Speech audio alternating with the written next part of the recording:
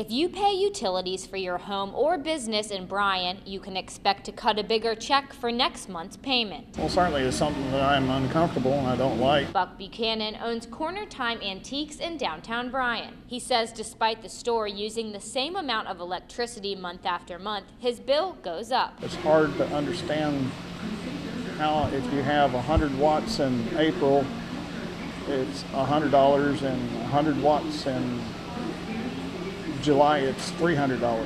Something all of us feel, a big pinch in our pockets to pay the electric bill. Based on my usage, uh, the bill has continued to increase every year for the past 10 years. It's uh, very minor, but it grows into a larger number each month, each summer. To put this approximate 0.5 increase into perspective, if your utility bill was $200 this month, you can tack on an extra dollar to your bill beginning October 1st. We are continuously having to build new infrastructure, new wires, new transmission lines, new distribution lines, uh, new power plants to serve our customers' needs. It might not seem like a lot for some, but that little increase adds up for users like schools and commercial businesses. Each one of those rate classes have very different characteristics in how they consume electricity. Using only what is needed We're always looking to see how we can cut back to be more cost efficient. to budget for rising bills in a tough economy.